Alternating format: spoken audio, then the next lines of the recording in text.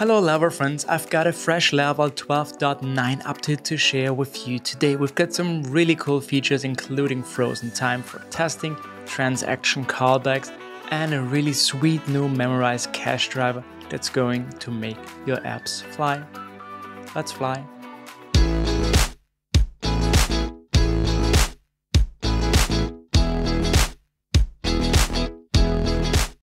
First up, we have this awesome new feature that lets you return a frozen time for easier testing.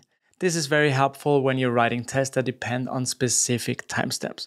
The methods freeze time and freeze seconds will now return the frozen time for you to reuse. Thank you, Jason. Next Laravel now allows you to add a callback specifically for when a transaction fails. This gives you so much control over your database operation and lets you handle failures way more elegantly. I'm already thinking about the ways I can clean up all uh, my code and error handling here. Thank you, Davey. We also got a new with relationship auto loading method, which is an addition to what I showed you in the last week's episode. Last week I showed you that it's very easy to introduce an n plus one issue like here where we get all the users, then loop over the users, the post and get the comments. And if we take a look at the queries we make, we have one to get all the users, then we have one to get the post for user ID, one to get um, the comments for this with post ID 1, post ID 2, and so on. So this is the typical n plus one issue here is about the second user again, and so on. And what I also showed you is that we can enable automatically eager loading relationships here inside a service provider with this call here. And if we run this code again, you will see we only have one, two to get all the posts here and one to get all the comments. So just three queries, way better than before and no n plus one issue.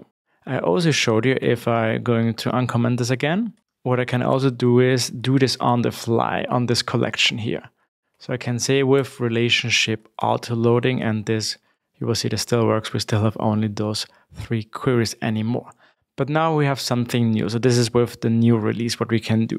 So let's say we have a model here and not a collection. So if we do this, and now let's say for all the users posts as post. All right, if we run this, we should see an n plus one issue again. Let me see, we get a first user, then we get all the posts for this user with the ID one, and then we have, yeah, one query again for every comment. This is not what we want. And now we can also say this on a model level. So I can say for this user here and for all the relationships here with relationship auto loading. Let me see if I got that right. One, two, three queries. Yes, this looks good. So no n plus one issue anymore. So this means now you can also define this not only on a collection, but also on a single model. Thank you, Serhi.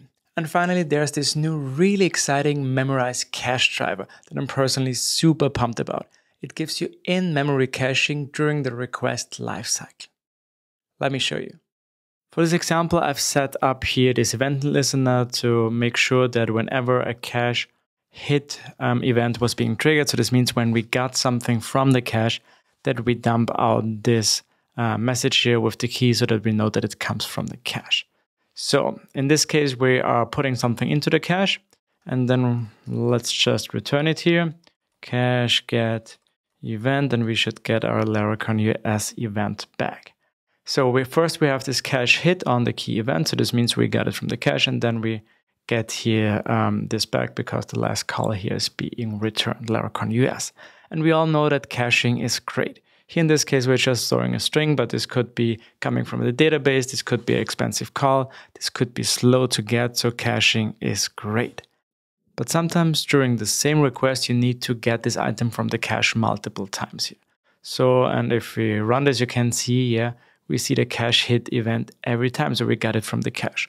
All good. That's, the, that's why we have cached it so that it's easier to get it. But yeah, still getting this from the cache could be expensive and also could be a little slow depending on your application and your needs. So that's why we have something new which we can do here. So we have a new memo method here on the cache. We use this to put something into the cache and then what we also do here is we also use this memo method in order to get it. And now let's take a look what this does. Now we have only one cache hit event, which is the first time.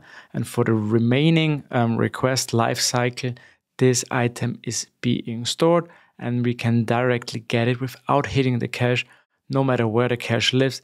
This is now even faster and this is what this new memoized cache decorator does for all your different cache drivers that you can use. So yeah, check it out. This is pretty cool. Please give it a try as well. Thank you, Tim. I want to give a huge thanks to all the contributors who made these amazing features possible. The Laravel community is just amazing and it's these contributions that keep making the framework better with every release.